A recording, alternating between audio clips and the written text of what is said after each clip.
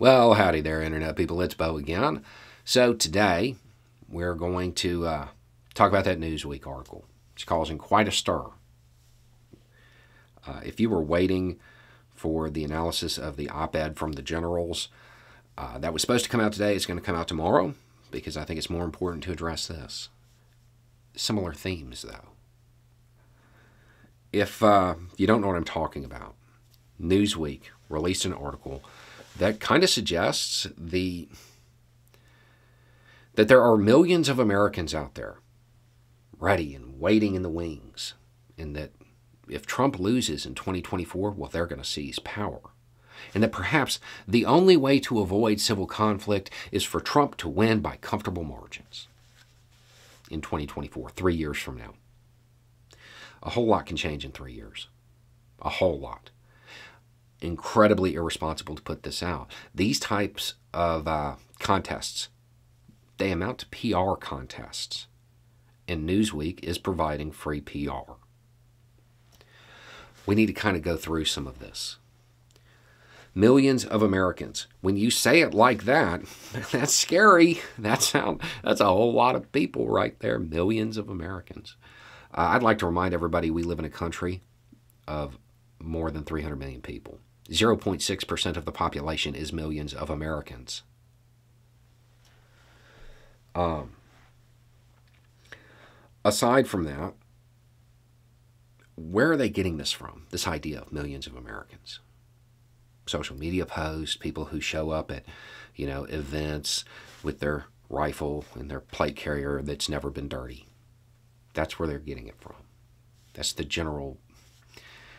It's that image that is leading to this idea millions of Americans.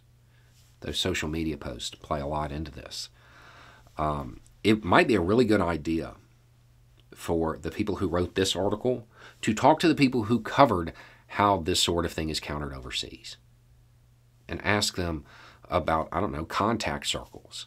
All of those posts that are made, they're all sitting on a server somewhere with their contact circle on it.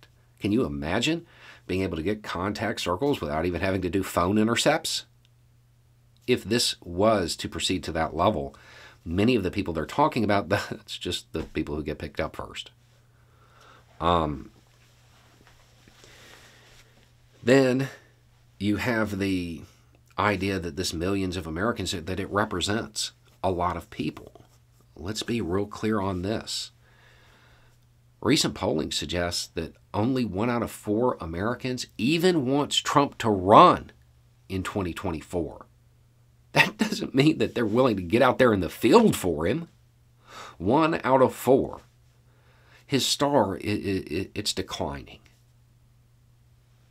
It's declining. This is a man who, not too long ago, couldn't even fill a what, 20,000 seat stadium. Only got five or 6,000 seats sold doesn't uh, doesn't seem like he, he's head of quite the movement that is being painted. Now, don't get me wrong, don't underestimate this man, but don't turn him into a figure of mythical proportions either, because that attracts followers. Then the idea that uh, the only way, or possibly the only way to avoid conflict, would be for him to win by comfortable margins.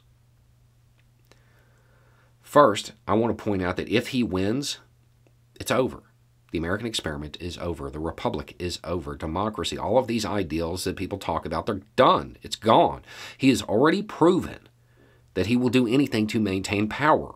Putting him back in office, it's over. It's over. Let's start with that. So maybe it's not a good idea to scare people into that position. Aside from that, that won't happen. He isn't going to win by comfortable margins. I don't even think that he'd win. Not at this point. But, you know, I don't know. It's three years from now. I wouldn't be so bold as to make a hard prediction based on something like that. But one in four wants him to run. That's not enough to win. That isn't enough to win. it's also worth noting that that number is going to decline. His base is aging, they're older. Many of them will age out of voting permanently over the next three years. And then you have to factor in the fact that a whole lot of them won't do things like wear a mask or get a shot. It's going to increase that even further. This is uh, the kind of thing that can create a mythical figure that people might rally behind. This idea that, oh, well, you're with me or bad things are going to happen. It's not a good idea.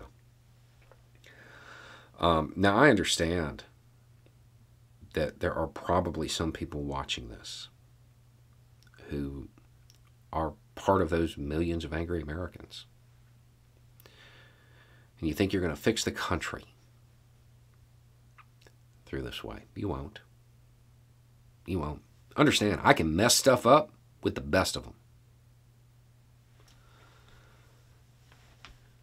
But that's not helping. It doesn't fix anything. It doesn't fix anything at all. You do not make your country great. You don't help your community. You don't help address the issues that your loved ones care about by destroying stuff. You get it by building. You fix it by building. By actually working to fix the problems, not make them worse. If you want to make this country great, you're not going to do it with a rifle, you're going to do it with a drill gun.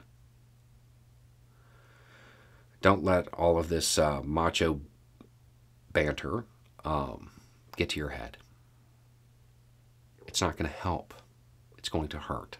It's going to destroy the thing that you claim you care about. Three years from now is a long way off. A whole lot can happen between now and then. A whole lot getting alarmed over this possibility now is very self defeating, and it may, in fact, encourage the, the outcomes that are presented in that article. If you want to uh, be a tough guy, destruction's easy. Building, making the country better, that's hard. That's what tough guys do. Anyway, it's just a thought. Y'all have a good day.